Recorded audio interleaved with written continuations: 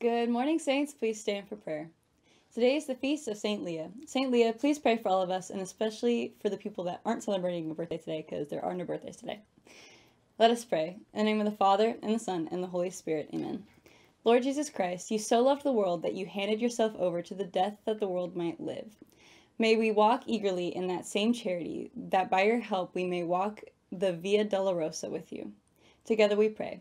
Heavenly Father, we praise you and give you thanks for the blessings you have bestowed upon us. Keep us accordant with truth and active in charity as exemplified by our patron, St. Thomas Aquinas.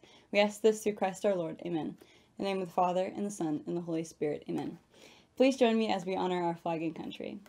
I pledge allegiance to the flag of the United States of America, and to the republic for which it stands, one nation, under God, indivisible, with liberty and justice for all.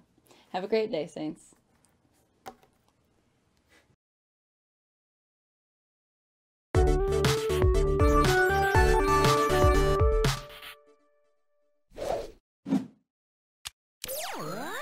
Good afternoon, Saints. Welcome back to the Halo Midday Show. Today is Monday, March 22nd, 2021. The saint of the day is St. Leah. St. Leah was a widow who humbled herself after her wealthy husband's death.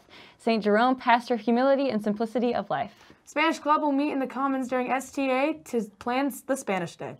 After school detentions will begin at 1225 Monday through Thursday on the 1215 dismissal days. Morning detention will still begin at 715 on Tuesdays and Thursdays. Seniors who are interested in theater and plan to go to JCCC next year, please see Ms. Spillman about a $3,000 scholarship opportunity. You do not have to be a theater major to get this money.